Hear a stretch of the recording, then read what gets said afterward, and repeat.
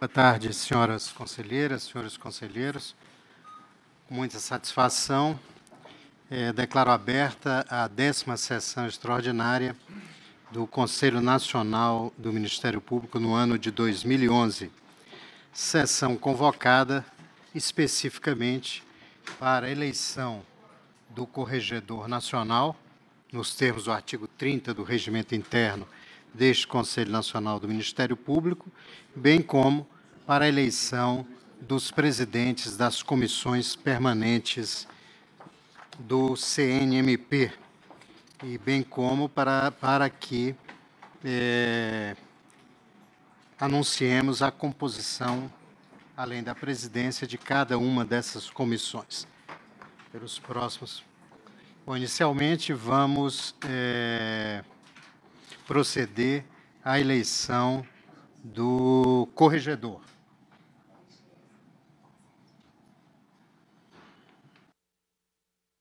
Trago as candidaturas.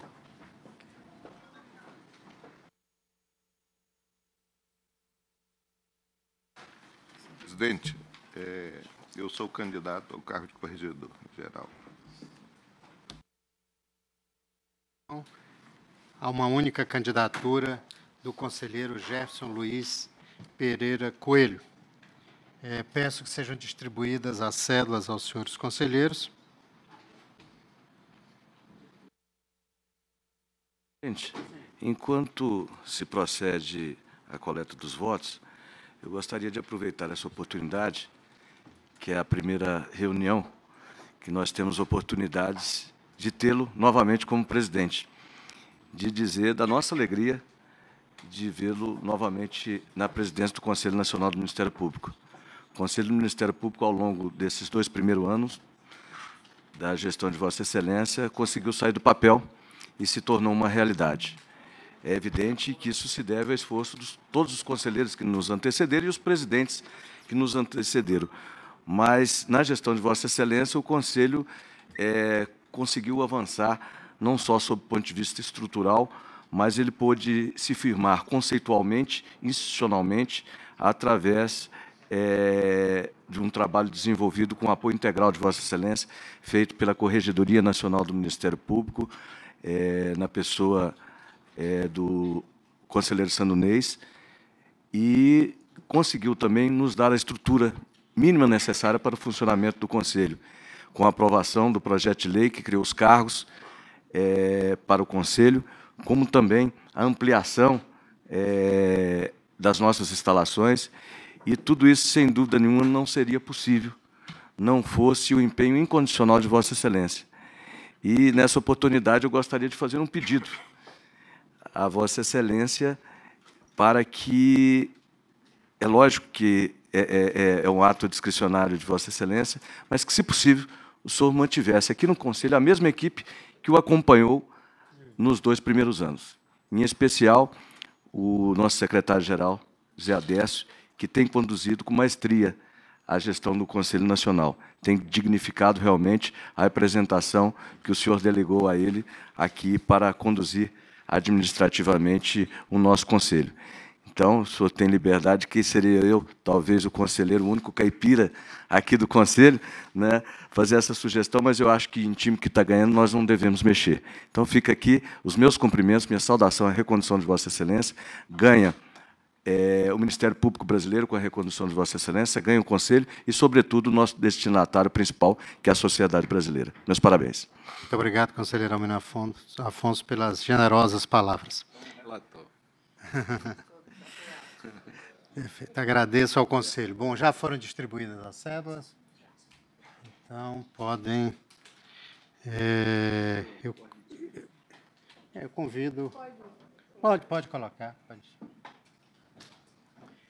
Recolher as cédulas.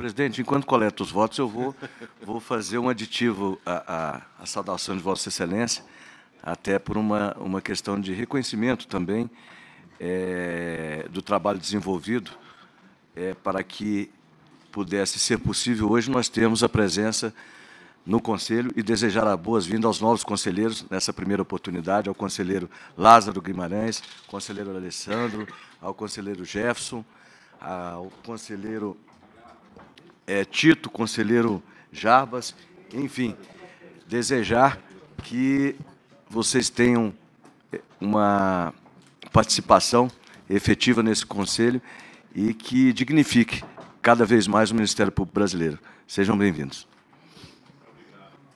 Conselheiro Almino Afonso, acho que falou em nome de todos os conselheiros que aqui já se encontravam e é para nós realmente uma grande satisfação receber os novos colegas, todos colegas com imensa experiência e que certamente darão uma contribuição valiosa aos trabalhos do Conselho Nacional do Ministério Público. Conselheiro Mário. Certamente peço a palavra, senhor presidente, para me somar as homenagens aos novos conselheiros que vem é, trazer uma importante contribuição a esse Conselho com, com sua atuação, é, na, com a sua com a renovação parcial que propiciam, e, e tenho certeza, é, pelos contatos que todos nós já tivemos a oportunidade de ter nos últimos dias, que teremos uma convivência muito harmoniosa, muito enriquecedora e muito produtiva para este Conselho Nacional do Ministério Público.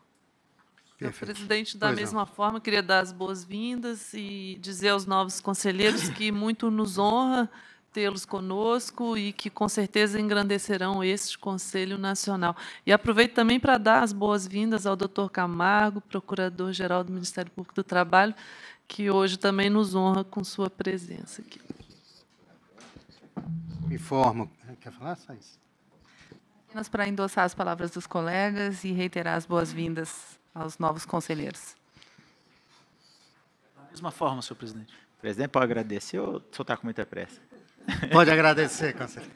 Eu agradecer aqui a Vossa Excelência pela. Em nome dos novos conselheiros. Tá resumindo então, mas eu não tenho essa, essa preferência, não, mas eu quero agradecer o carinho que nós somos recebidos pelos servidores da casa, pelo secretário-geral, por Vossa Excelência, pelos demais membros, conselheiros nacionais, e dizer que estamos aqui para servir a instituição. Eu acho que falo sim em nome de todos nesse sentido, e pode esperar um posicionamento em favor do crescimento do Ministério Público, do aperfeiçoamento do Ministério Público, mas com uma palavra muito forte, com muita lealdade e com muita correção.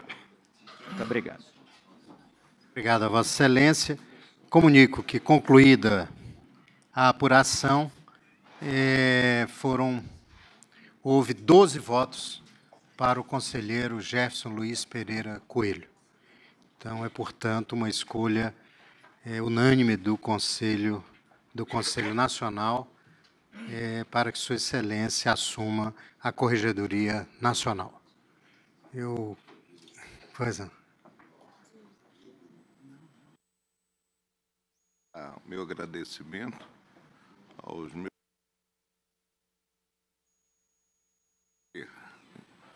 que as diretrizes a serem adotadas na corregedoria serão as diretrizes do Conselho Nacional do Ministério Público.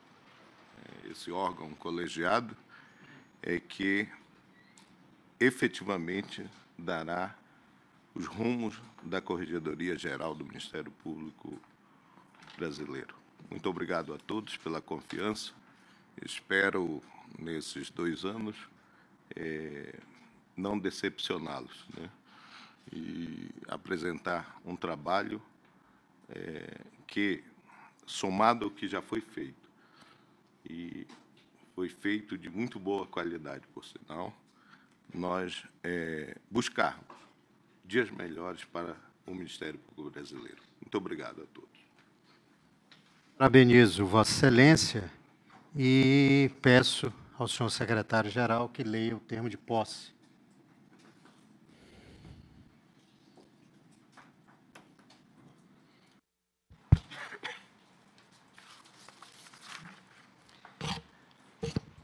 Aos 23 dias do mês de agosto do ano de 2011, às 15 horas, no plenário do Conselho Nacional do Ministério Público em Brasília, em sessão solene, perante o excelentíssimo senhor Procurador-Geral da República e presidente do Conselho Nacional do Ministério Público, doutor Roberto Monteiro Gugel Santos, tomou posse como Corregedor Nacional do Ministério Público para mandato coincidente com seu mandato de conselheiro, nos termos do artigo 130-A, parágrafo 3 da Constituição da República, do artigo 30 e parágrafos do Regimento Interno do Conselho Nacional do Ministério Público e da Portaria CNMP Presi 112, de 23 de agosto de 2011, prestando o compromisso de cumprir fielmente os deveres e obrigações da função, o excelentíssimo doutor Jefferson Luiz Pereira Coelho, subprocurador-geral do Trabalho, eleito pelo plenário do Conselho Nacional do Ministério Público em 23 de agosto de 2011. E, para constar, lavrou-se o presente termo em duas vias, que vai assinado pelo presidente do Conselho Nacional do Ministério Público e pelo empossado.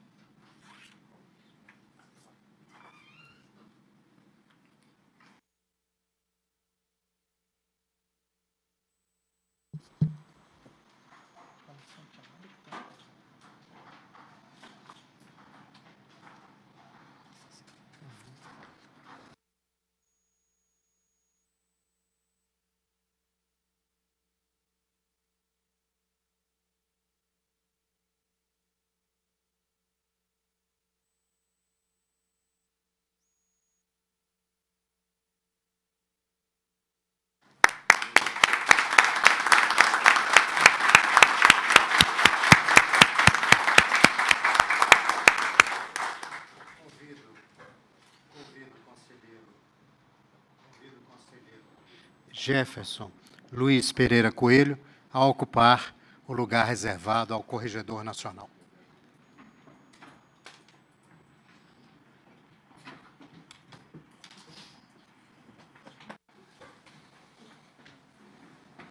Desejando a Sua Excelência pleno êxito no desempenho de suas novas funções. Passamos agora ao a escolha da, dos presidentes, a eleição dos presidentes das comissões permanentes deste Conselho Nacional. E, para isso, passo a palavra à conselheira Maria Esther, designada relatora. É, para, senhor presidente, para a presidência da Comissão Permanente de Controle Administrativo Financeiro, o conselheiro Luiz Moreira. Todos estão de acordo. De acordo. Eu me abstenho de votar, senhor presidente. O relator. Alguém mais se manifestar? Ah, todos de então, acordo, a abstenção do conselheiro. abstenção do conselheiro Almino. Para a presidência da Comissão Permanente de Planejamento Estratégico e Acompanhamento Legislativo, a conselheira Cláudia Chagas, continuando já naquele mandato anterior. Acordo, a unanimidade do Conselho. Para a Comissão Permanente de Preservação da, da Autonomia do Ministério Público, conselheiro Alessandro Tramujas. De acordo. Estou de acordo. Para a Comissão Permanente de Jurisprudência, a presidência, o conselheiro Almino Afonso. De acordo. Todos de acordo? Todos de acordo. Para a presidência da Comissão de aperfeiçoamento da atuação do Ministério Público na área da infância e juventude, a conselheira para a presidente, a conselheira Thais Ferraz. De acordo. E para a Comissão Permanente de Aperfeiçoamento da Atuação do Ministério Público no Sistema Carcerário e no Controle Externo da Atividade Policial, o conselheiro Mário Bonsaglia continua como presidente. Com a relatora. Unânime a decisão do Conselho. É...